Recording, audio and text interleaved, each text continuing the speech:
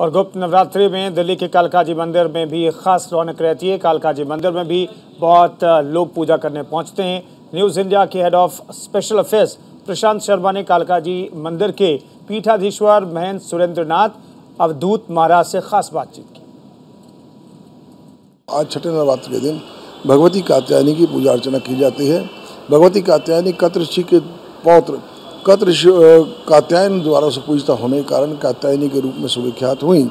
उनका ध्यान करते हुए चंद्रहास उज्ज्वल करा, शार्दूल वरवाहना, कात्यायनी शुभम दया, देवी दानव घात ने इससे को धूप, दीप, गंध, नैवेद्य आदि से भगवती का पूजन अर्चन करने से भगवती सभी शत्रुओं का विनाश करते हैं। वहीं दूसरी ओर कात्यायनी का मंत्र जप करने से कन्याओं को सुयोग्य वर की प्राप्ति भी होती है। महाभारत काल में भगवती रुक्मणी ने भगवान श्री कृष्ण को वर रूप में प्राप्त करने के लिए कात्यायनी के मंत्र का प्रयोग किया था। उनका बहुत ही प्रसिद्ध मंत्र है, कात्यायनी महामाय महायोगीश्वरी नंद गोप सुतम पति में गुरु ते नम, स्वाहा। इस मंत्र का जप करने से कन्याओं को सुयोग्य वर की प्राप्ति